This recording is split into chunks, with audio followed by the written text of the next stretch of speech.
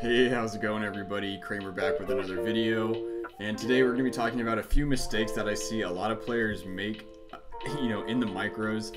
And, you know, I'm grinding the micros daily right now and I see these mistakes going on right now. So this might apply to you. And if you clean these up, maybe you'll start making more money.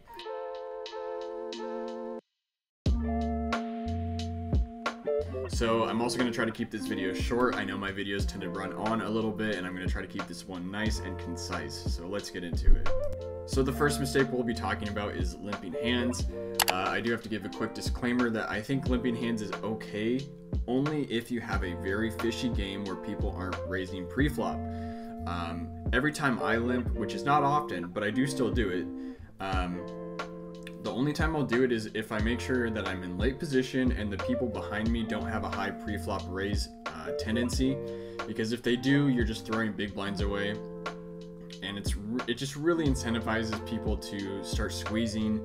And it's just it's just kind of throwing money away and it's also you never get to balance your range with strong hands because now if if you play a good player they're to see that you only raise strong hands and they'll just like you know try their best to exploit that. So it's an exploit ex, exploitable strategy, which again it can be used, but it has to be done uh, seldomly and correctly.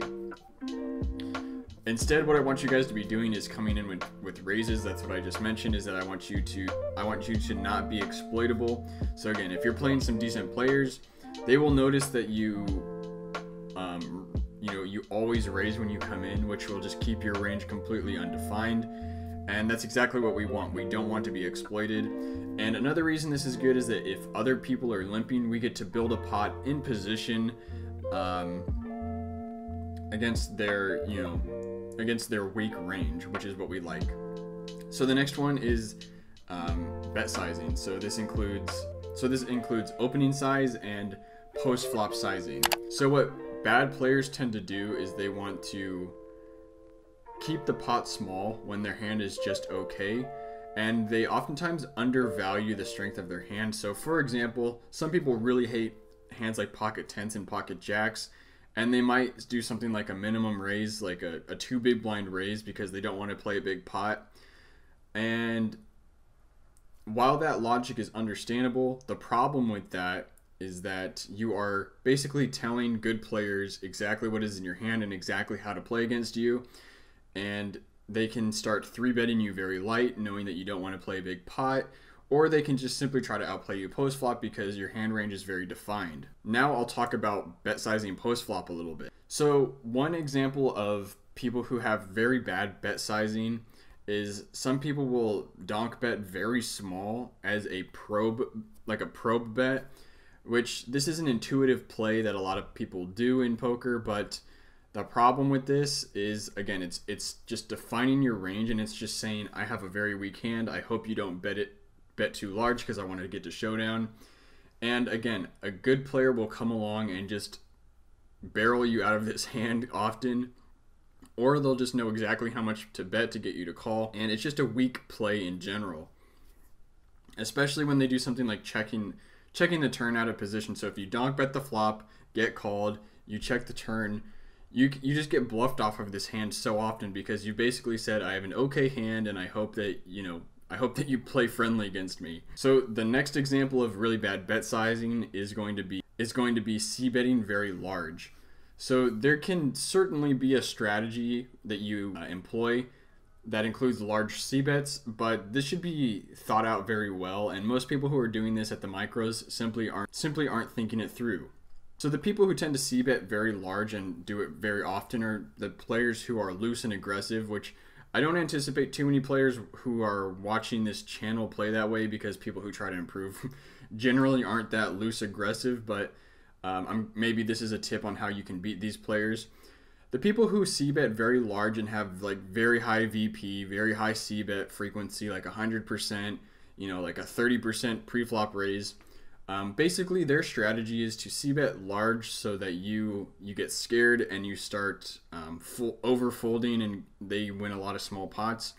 But the problem with this is that if you play a decent player, um, you might run into some check raises a lot more often and that's something that I would definitely do to these aggressive players it's scary because you know you, you are building a big pot with a bluff, but again, someone who c bets 100% of the time, it's really hard for them to continue against a tight player um, who just check raised them.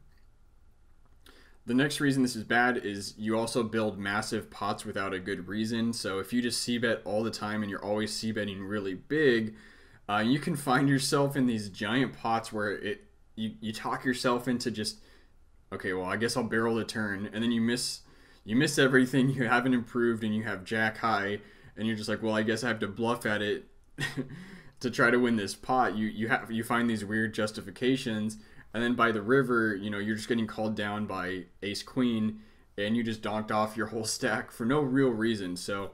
Um, I just want you guys to keep in mind that bet sizing can vary a lot, and um, betting huge just to bet huge and try to scare people is usually not a very good reason to uh, act that way. So the third one is going to be that people try to think too exploitatively.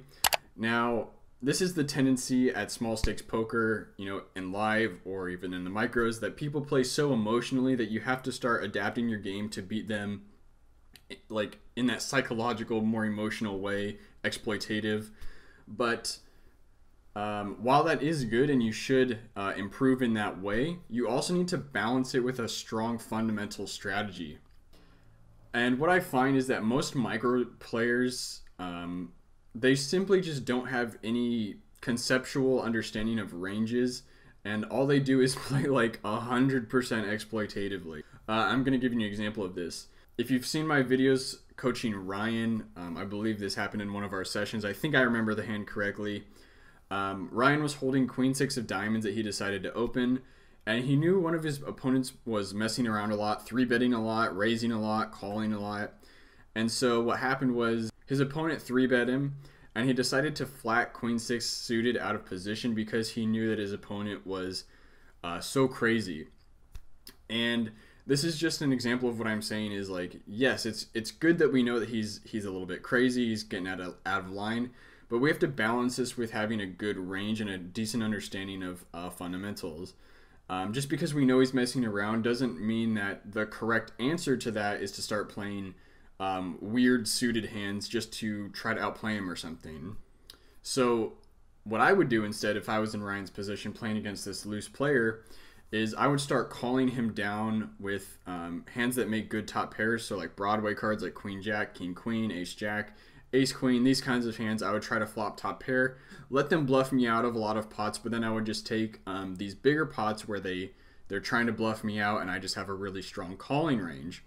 So this is what I mean when I say you have to balance um, exploitative with at least some fundamentals uh, that will kind of carry you along.